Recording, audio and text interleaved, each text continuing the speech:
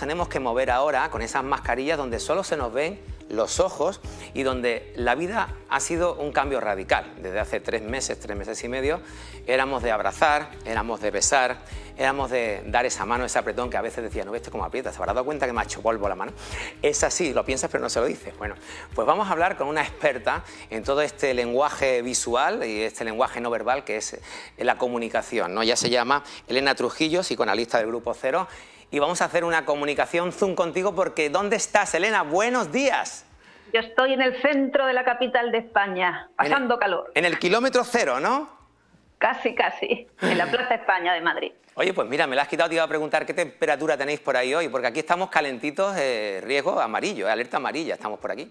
Sí, hoy está un poquito mejor que, que en el día de ayer, pero bueno, hace calor, es lo que toca, como se llama el programa Contigo en verano, pues el verano llegó y bueno, adaptándonos a estas nuevas circunstancias, como digo. Me ha gustado eso de que digas una experta y como hablabas de besos y abrazos, digo, seré experta en besos y abrazos.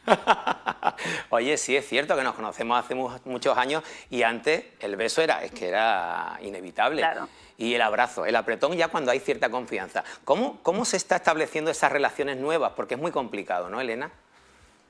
Bueno, mm, depende. Si seguimos las indicaciones sanitarias, correspondería, como tú dices, guardar esas distancias de seguridad, tomar esas medidas higiénicas que por ahora son las que de alguna manera están sirviendo para contener esa propagación del virus y, que no son medidas tan difíciles, es decir, que son llevaderas y, y, a la larga es lo que queremos, ¿no? que acabe esta situación excepcional. Más allá de eso, también nos llegan noticias de personas que no han respetado la cuarentena, que se han tomado de alguna manera la ligera la situación sanitaria que vivimos, que lo consideran como un engaño. Y bueno, estamos viendo que hay personas que no guardan esa distancia y por tanto nos ponen en peligro a todos. Nos ponen en peligro a todos y corremos el riesgo de que volvamos atrás. Entonces, importante esta, ¿no?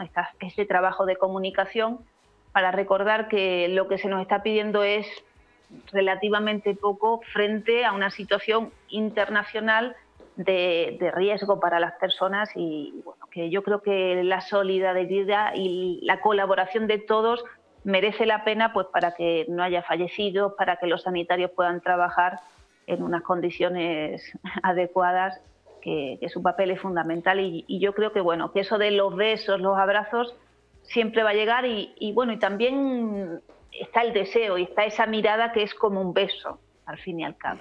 Elena, bajo tu punto de vista, ¿qué crees que debemos transmitirle a las personas que todavía no se han tomado en serio esta situación? Porque es verdad que ya decía yo antes, la nueva normalidad eh, no es lo mismo que antes, evidentemente. ¿Qué, podíamos decirle para que esto no pudiera, eh, no nos afectara de esta forma que nos está afectando con los rebrotes, por ejemplo?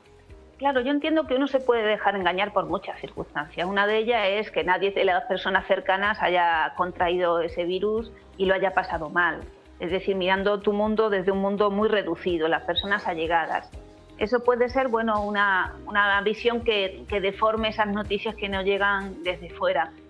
Pero es cierto que la realidad es más amplia de la que vivimos y que también uno tiene que ser solidario con el sufrimiento de muchas otras personas, las cifras que, llegan y que parecían de mentira, pues hacen que ese desarrollo del, virus está siendo exponencial en muchos países que no se han tomado tan en serio esas medidas de aislamiento social y que por tanto están afectando sobre todo a la población más vulnerable, que son las personas mayores o las personas con menos condiciones económicas de sostenimiento de su vida, aunque muchas personas muy adineradas también eh, están muriendo por esto. Entonces yo creo que, por un lado, poca solidaridad, poco sentimiento de compromiso social y, por otro lado, si me permiten también la consideración profesional, yo creo que cuando hay una ley, la ley está para respetarla y el que no la respeta es un perverso y eso hay que denunciarlo. ¿no? Es decir, que, que no cumplir con esas indicaciones que tenemos que cumplir todos es un signo más de la perversión psíquica y es una enfermedad. Ha hecho una lectura en la cual estoy totalmente de acuerdo contigo. Vamos a pasar ahora a las mascarillas, que evidentemente aquí en Contigo en Verano queremos darle siempre una parte, bueno, la parte positiva, ver la parte, eso de la botella medio llena, ya sabes, ¿no? En vez de medio vacía.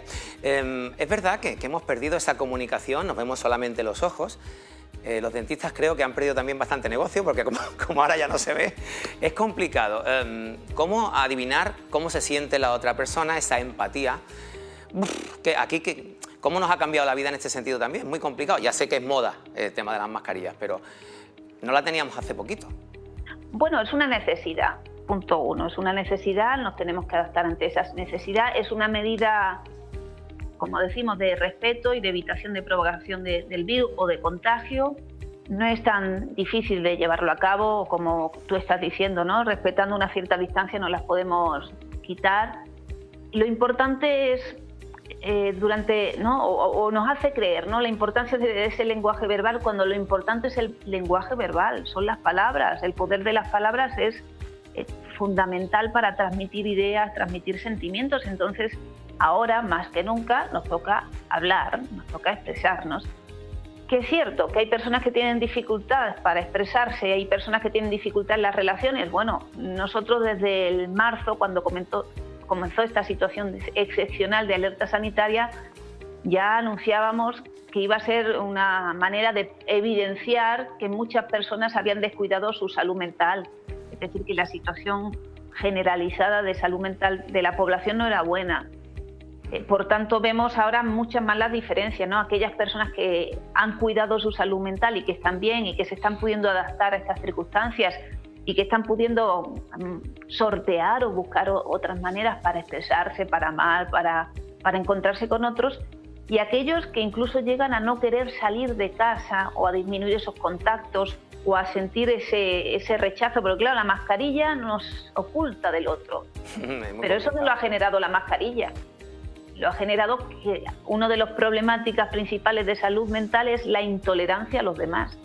Entonces simplemente lo evidencia, evidencia que hay una dificultad en, las personas de hermanarse, de, comunicarse y por tanto ahora más que nunca es importante cuidar la salud mental, cuidar ese ámbito de nuestra vida que, le dábamos un poco de largo, pero es muy importante. Elena, y fíjate tú, qué importante lo que estás diciendo, de la llaga a los sentimientos a nivel sentimental, hija mía.